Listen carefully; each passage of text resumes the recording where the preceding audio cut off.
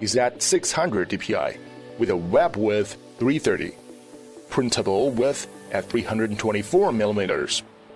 Our print units are stitched with three print heads in line to give the print web of the machine to 324 millimeters width.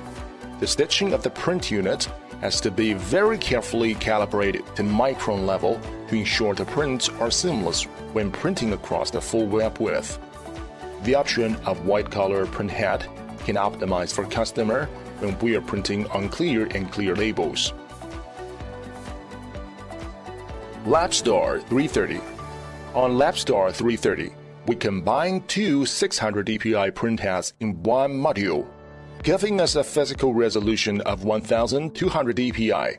Each CYMK printhead station contains three 1200 dpi printhead modules. LabStar is using the latest Kyocera printhead to ensure the jet ink stability. Conventional inkhead has difficulty in controlling the stability of each ink drop.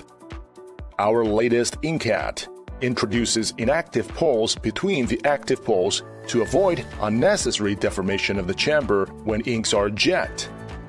With this new printhead technology, each ink drop is carefully optimized in the procedures of high-speed printing with multi-drop size technology, small drops for the fine details, media drops for details in the mid-tone, larger drops for solid fill areas. Our user-friendly and easy-to-use control panel system. Our simple and user-friendly operating system helps you monitor the printhead pressure and ink temperature in real time calculate ink consumption cost, and typeset your labels automatically, and assures you high efficiency in color and order management, as well as variable data handling and database management. Printing for operators is just a click away.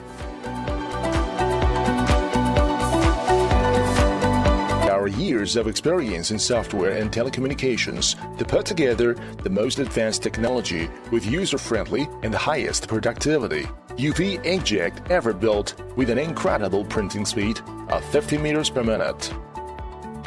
Hanway LabStar 330 and 330E digital label press can offer you endless options and possibilities with our plentiful experience and expertise in digital printing industry.